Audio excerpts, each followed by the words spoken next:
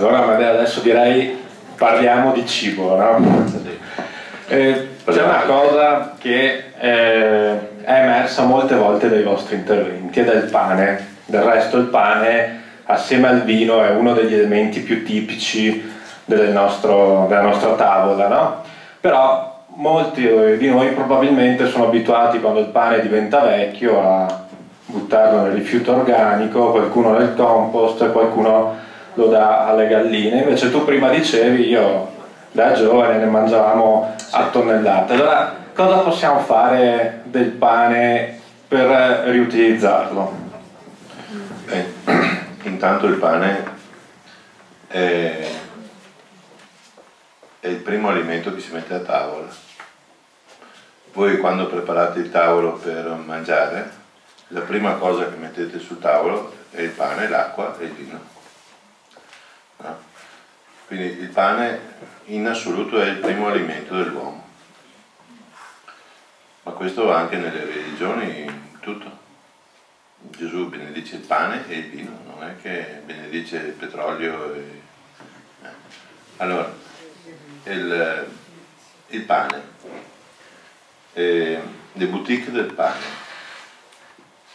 Beh, quanto buon gelo il pane che si faceva incontrare una volta tutti insieme e ciopon i corni che restava buon tutta la settimana perché si faceva il pane una volta a settimana, incontrava tutti insieme e dopo si lo spartiva, una volta portava farina a una famiglia, una volta portava anche altra, e c'era amare sempre nel cassetto che serviva per la settimana dopo. No. Eh, e adesso strutti, grassi, grassi so, vegetali solidi, margarine insomma, eh? mastrutti soprattutto. E chiaramente farine costruite chimicamente per la lievitazione e che più ne ha più ne metta, pani conditi in tutti i modi, con latte in polvere, con, con, tutto, con tutto e di più. E anche qua, eh, il pane è una cosa sacra, una, una cosa benedetta. Quindi quando io vado a comprare il pane, compro del pane comune, non compro del pane al latte, del pane condito, del pane, compro del pane comune. E lo do da mangiare ai miei bambini il mattino alla prima colazione, con la marmellata. Non gli do la brioche o le merendine delle multinazionali, gli do il pane. Gli faccio bere il latte, gli do il pane con la marmellata. Se posso, per la merenda a scuola, gli do ancora un pezzettino di pane e gli do magari anche un frutto. Quando viene a casa a mezzogiorno o a luna, quando arriva, comunque un pezzetto di pane glielo faccio trovare. Se poi a metà pomeriggio vuole fare una merenda, eccetera, magari non, non gli do il pane, ma non gli do neanche dei poci, delle cose dolci terrificanti, gli faccio mangiare della frutta. E la sera chiaramente cerco in tutte le maniere che si nutra in maniera molto leggera in modo che possa dormire bene la notte eh, e gli faccio fare molto movimento. Avanzo il pane perché ne ho preso di più, lo avanzo. Allora la prima cosa da fare è non tenerlo in un sacchetto di plastica, ma in un sacchetto di carta, in un posto asciutto, in modo che non possa fare muffe. In un sacchetto di carta diventa secco, non fa la muffa, se è in un posto asciutto rimane perfetto, una volta che già la taglia pane e la mattina o alla sera si mangiava la caffeate. Mm. Tutti. Mm. Tusitti e donne soprattutto. Mm. Allora, poi cos'è il pan grattà? Il pan, quando è vecchio e secco, si può grattarlo e fare il pan grattà. E col pan grattà, così, si impana tutto, eh? Dalle fettine di carne alle fettine di verdura, a qualsiasi cosa, oltre, oltre a fare passatelli in brodo, oltre a fare panà, che nessuno più fa. Con una croce di olio per sola. Oltre, oltre a fare torte, mi stasera ho fatto la puttana, col pan vecchio. Eh? Però, la mia per tutti. No, metto le mani avanti perché... Eh.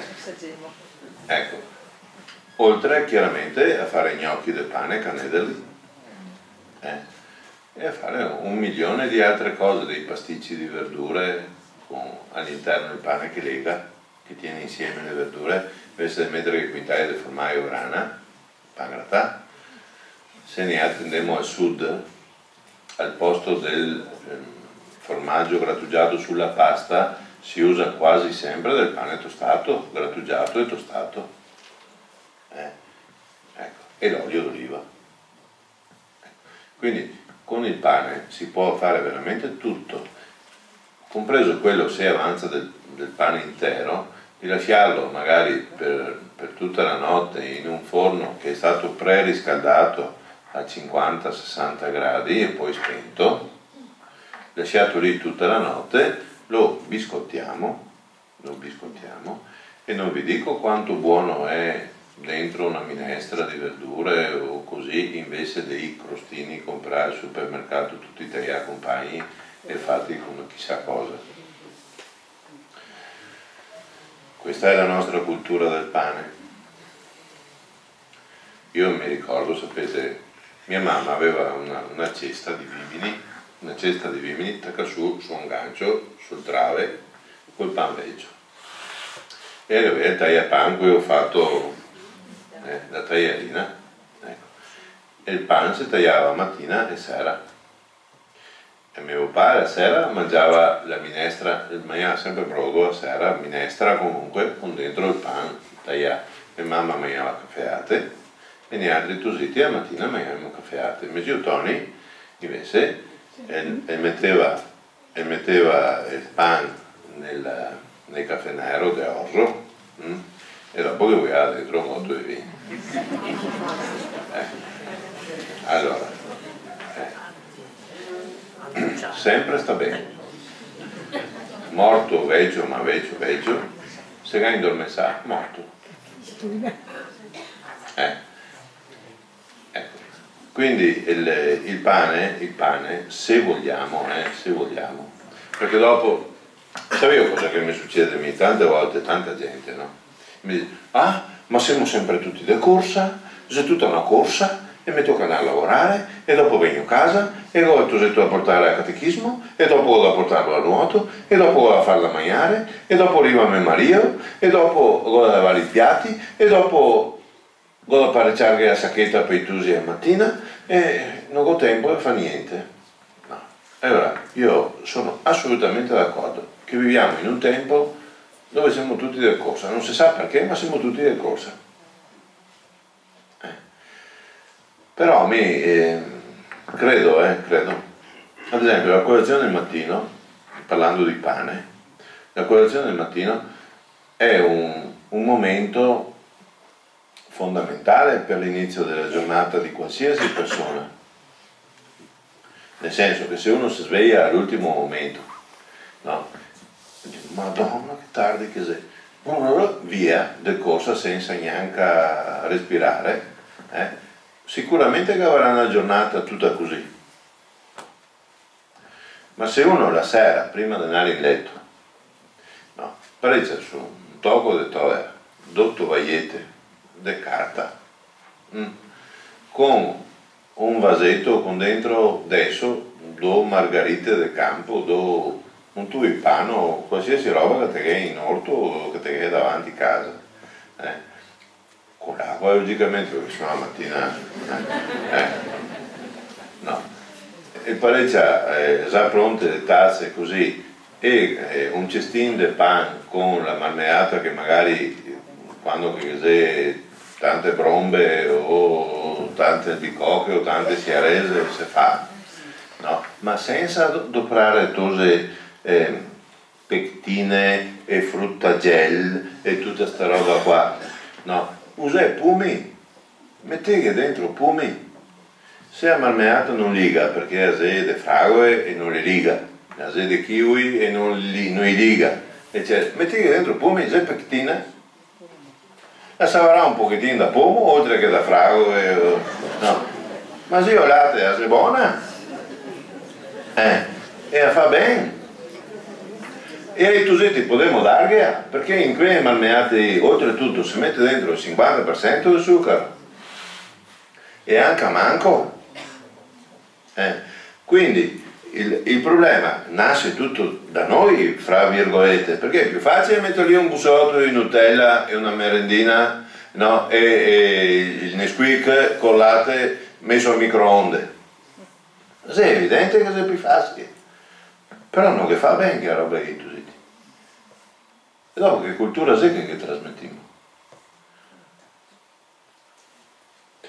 Allora, eh, mi vi prego, proprio vi prego col cuore in mano, di trovare il tempo, e si tratta savio di 5-10 minuti, non si tratta mia di mezze ore, di 5-10 minuti, per trovare il tempo di iniziare la giornata in maniera più tranquilla, svegliandosi 10 minuti prima e andando in letto 10 minuti prima se è possibile. Ecco. Quindi la prima colazione e il pane, il pane nella prima colazione. Voi potete parlare, guardate, con qualsiasi nutrizionista.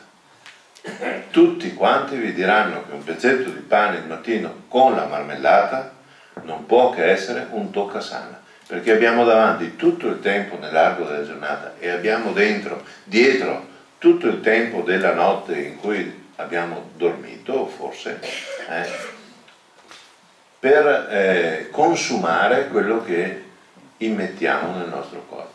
E ricordatevi, il pane è una cosa sacra. Una volta, quando cadeva un pezzetto di pane per terra, si tirava su e si quedava un vasetto. E dopo si ammainava. Eh. Quindi questa è una roba da non dimenticare, lo dico a tutti, a chi lo sa e a chi non lo sa. Il pane è una cosa sacra, perché è la prima cosa che veste la tavola. Dopo, quando chi viene a mangiare al ristorante e ti metti il testino di pane che fame, ti tocca cambiare tre volte prima che ti a mangiare. No, però, meglio che mangia pane piuttosto che altre robe. E comunque il pane, se qualcuno ha la possibilità di avere un forno a legna, di avere un qualcosa in casa, se potete fatevelo. È una benedizione diversa, è un iniziare diverso il pasto, a qualsiasi ora, ripeto, soprattutto il mattino. Posso finire qua?